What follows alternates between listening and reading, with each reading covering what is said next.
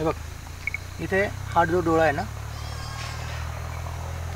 हा एक डोळा आपण ह्या साईडला घेतला आणि हा डोळा ह्या साईडने घेतला. आणि मध्ये आपण आय बी टाकणार आहोत. पण आय बी टाकण्यासाठी आपण जे होल घेतो ते होल घेण्यासाठी आपल्याला काय करावं लागेल? की हा डोळा ज्यावेळेस आपण जमिनीत असा टाकणार आहोत आणि इथे टाकणार आहोत. म्हणजे दोन्ही डोळे तू तुम्हाला होरिझोंटल साईडला पाहिजेत. हा असा नाही टाकू शकत कारण हा जर असा टाकला तर हा डोळा खाली दाबला जाईल इकडचा. ओके म्हणून तुम्हाला ज्यावेळेस इथे कट घ्यायचा आहे त्यावेळेस तुम्हाला या पोझिशनमध्ये हा डोळा आणि हा डोळ्याला इजा होणार नाही. या हिशोबाने तुम्हाला असं पकडून ठेवायचं आहे. आणि याला काय करायचं आहे? एक जस्ट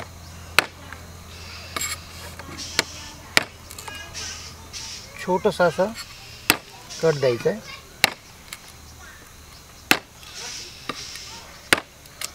जेणेकरून तुम्हाला त्याच्यात फक्त आय बी आहे टाकता येईल. होल जास्त जे आहे मोठं घेऊ नये. कारण आपल्याला परत त्याला पट्टीने हे पण करायचं आहे असं एवढं होल झालं की पुरे झालं. ओके याच्यात आपण आता आय बी ए भरणार आहोत. हा एक झाला. सेम आता इथे काय झालं आहे इथे आपण दोन डोळे घेतले होते. आता इथे काय याचं इंटरनोड कमी असल्या कारणाने आपण इथे काय करणार आहोत? तीन डोळे घेणार आहोत. एक डोळा दोन डोळा आणि हा तिसरा डोळा. तीनही डोळे हे घेत असताना आपण पूर्ण हा स्टेम घेताना वरचे डोळे स्प्राऊट झाले होते आणि खालचे डोळे डोरमेंट होते. म्हणून हे डोळे घेतले आणि वरचा वरचा जो पोल होता तो आपल्या काही कामात आला नाही. मग हा डोळा स्प्राऊट होण्यासाठी आपल्याला ह्या पेरात पण आय बी ए टाकावं लागेल आणि ह्या पेरातमध्ये सुद्धा आय बी ए टाकावं लागेल. सो याला धरताना आपल्याला काय करावं लागेल? हा डोळा ह्या साईडने हा डोळा ह्या साईडने. बघायचं याच्यानुसार त्या डोळ्याची साईज कशी आहे. किंवा आपण त्याला ठेवणार कसं आहोत ओके याला ह्या साईजने घेतला की आपल्याला इथे दोन ठिकाणी कट मारावे लागतील. मी मारून बघू हां घे की. हे बघा इथे इथे इथे एक घे आणि इथे असं इथे एक घेशील. घे बरं मारून बघ.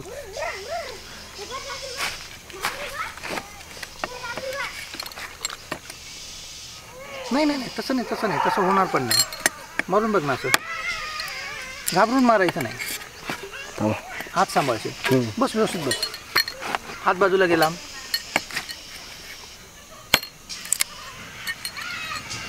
येईल ना ती मार ना अजून. बरोबर निघेल.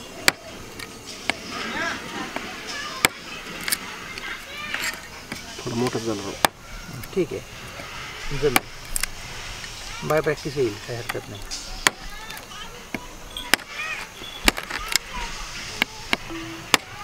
असं कट नको बरोबर निघेल ते. असं आलो का? नाही नाही सरळ मारायचं. असं.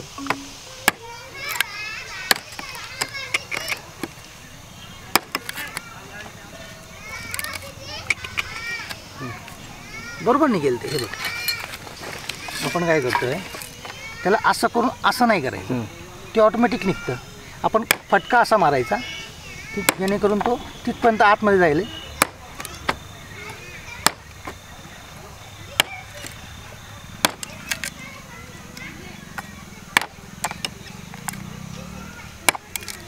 जर ही बांबूची स्लायवर्स असं जर फाटलं गेलं.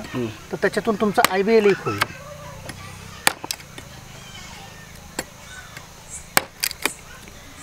मिळालं? थोडंसं फटका मारताना तो खोल जाईल ह्या हिशोबाने फटका मारायचा. आणि ऑटोमॅटिकली ती जागा तयार होत राहते. आता याच्या सुतर याच्याच बरोबर समोरासमोर तुम्हाला हा घ्यायचा आहे. हा घेत असताना तुम्हाला काय करायचं आहे? असा मारायचा आहे. बरोबर? तिरका थोडा. हा थोडंसं नॉर्मल तिरका आणि हा फटका तुमचा असा बसेल या अंदाजाने हा असा मारायचा ओके परत हा इथे असा मारला की परत हा इथे असा मारायचा आहे.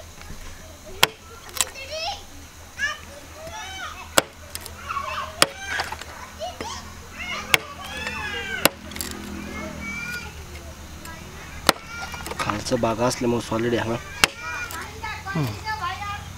मिळालं आता ह्या होलमध्ये आपण आय बी ए पोर करू. या. बघा, आपण प्रपोगेशन बांबूचं प्रपोगेशन करत असताना व्हेजिटेटिव्ह प्रपोगेशनमध्ये स्टेम कटिंगला खूप महत्त्व आहे. आणि स्टेम म्हणजे याला म्हणतो आपण कांडी पद्धत. जसं ऊसाची कांडी पद्धत असते तशी. ऊसाची कांडी आपण डायरेक्टली मातीमध्ये लावतो. परंतु याची स्किन जाड असल्याकारणाने याला रूट लवकर फुटण्यासाठी आपण याच्यामध्ये आय बी ए टाकणार आहोत. ग्रोथ हार्मोन्स टाकणार आहोत. आणि हे ग्रोथ हार्मोन्स कसे बनवायचे? तर साधारणतः हे आपलं एक हजार पी पी एमचं पाणी ऑलरेडी बनलेलं आहे. आणि आता याला आपल्याला दोनशे लिटर पी पी एमचं बनवायचं आहे. हे दोनशे लिटर पी पी एम बनवत असताना इथे आपण काय केलं आहे चारास एक हा भाग जर घेतला आपण तर साधारणतः आपलं दोनशे पी पी एम पाणी तयार होईल. सो हे बरोबर आपलं दोनशे पी पी एम पाणी तयार झालेलं आहे. याला आपण एका काळीने ढवळून घेऊया. आता हे लार्ज स्केलमध्ये करत असताना तुम्हाला याचं मोजमाप जे आहे ते ॲक्युरेट ठेवावं लागेल. पण आता आपल्याला जस्ट प्रयोग म्हणून आपल्याला आपण हे दोन स्टेम करून बघतो आहे म्हणून आपण काय केलं आहे हे एक हजार पी पी एममधून याला डायल्यूट करून याला आपण दोनशे पी पी एम कसं बनवलं? तर चारास एक हे प्रमाण घेऊन. चारास एक हे प्रमाण घेऊन हे तुमचं सॉल्वंट तयार झालं आहे आणि हे सॉल्वंट तयार करत असताना आता याचं काम संपलं आहे ओके. दुसरी गोष्ट सिक्युरिटी म्हणून बघावं लागेल तुम्हाला की ज्यावेळेस आपण ह्या बॉटल्समध्ये सॉल्वंट तयार करतो हे पाणी कुणी पिऊ नये. म्हणून याला लॉक करणं खूप गरजेचं असतं. आणि ही आता बॉटल परत लॉक झाली. ओके? बरं आता हे तयार करत असताना आपण काय करतो याच्यामध्ये हे सॉल्वंट जे आहे ॲक्युरेट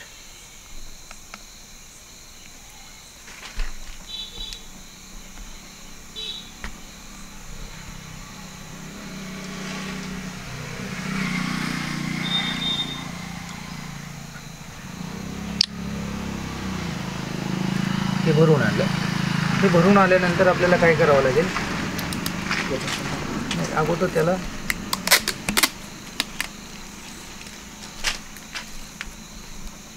पॅक करावं लागेल. त्याला वर धरून ठेवा.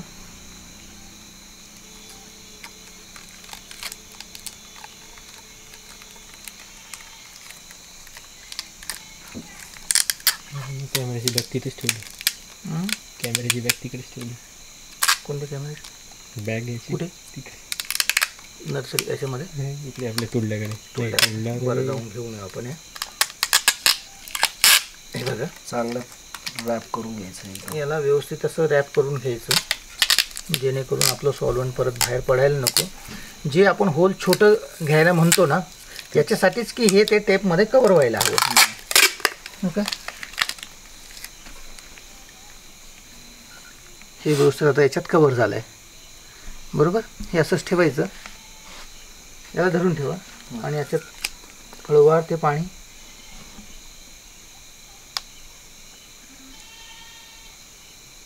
बरोबर होलमध्ये टाका ते.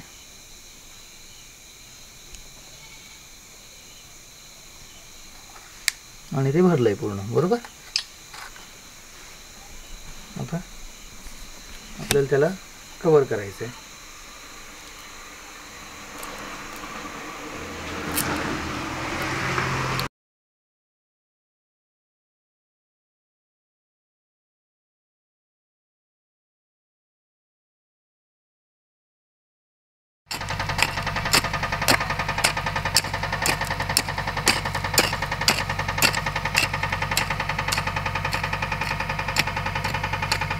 ॲक्च्युली याच्यामध्ये रेती पाहिजे असते. रेती. याच्यामध्ये अ, ही आहे. भाग कसा असतो? रेती दोन भाग सॉरी माती माती. दोन भाग रेती एक भाग आणि एक भाग तुमचा खताचा. ओके? असा पाहिजे असतो.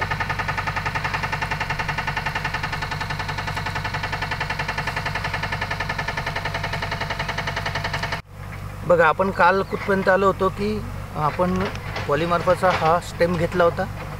स्टेम्पला आपण काय केलं त्याचे डोळे बघून घेतलेत. जे स्प्राऊट होण्यास आहेत असे ते. त्याच्यानंतर आपण काय केलं त्याच्यामध्ये दोनशे पी पी एम सॉल्वंट तयार केलं. व्यवस्थित असं छोटेसे कट घेऊन त्याच्यात सॉल्वंट टाकण्यासाठी जागा तयार केली. त्या सॉल्वंट घेऊन आपण प्लास्टिकच्या सेलो टेपने आपण त्याला कवरअप केलं जेणेकरून त्याच्यात एअरटाईट त्याला आपण पॅक केलं. आणि मग आता याला आपण जमिनीत गाडणार आहोत. जमिनीत गाडताना परत हा डोळा हा डोळा आणि हा डोळा वरच्या साईडने राहतील या हिशोबाने आपल्याला तसं ठेवावं लागेल. बरोबर? आणि मग?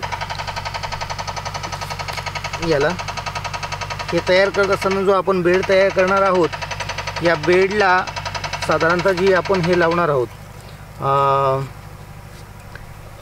मीडिया जो घेणार आहोत तो रेती एक भाग माती दोन भाग आणि तुमचं तसं नका करू. याच्यात पाणी साचून राहील. बेड तयार करत असताना कधी पण असा हा प्लेन असावा. जर इथे खाच केली तर इथे पाणी साचेल आणि ती बुरशी लागेल. सो हा बेड जो आहे हा प्लेन ठेवावा. ओके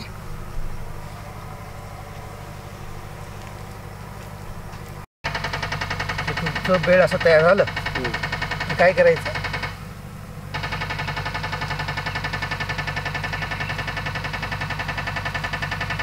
पुरेसं चांगलं खोल. हे घ्यायचं. बरोबर? आणि याच्यामध्ये हा जो बळ आहे हा बळ आणि हा बळ. असा. ठेवायचा. याच्या खाली माती? जाईल ना त्याच्यामध्ये. माती का नाही जाणार त्याच्यात?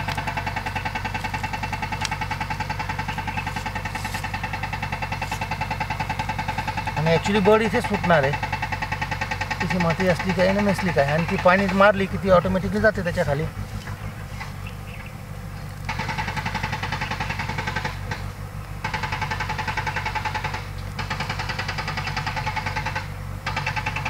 रेती एक भाग माती दोन भाग आणि एक भाग तुमचा कंपोस्ट खताचा. ऑलरेडी याच्यामध्ये ते कंपोस्ट खत आणि माती आहेच. ऑर्गॅनिक मॅन्युअल कोणतं पण. ऑर्गॅनिक माझं कावडंग वगैरे असले तर चांगलंच. ओके दुसरी गोष्ट याच्यात अशी गुगल गाय वगैरे असेल तर हे आपण बाहेर टाकण्याची व्यवस्था करावी नर्सरी गुगल गाय वगैरे राहू द्यायची नाही. शंख आहे फक्त. त्याच्यातली गाय निघून गेली कदाचित. एवढं मोठा असतं. हो. हां.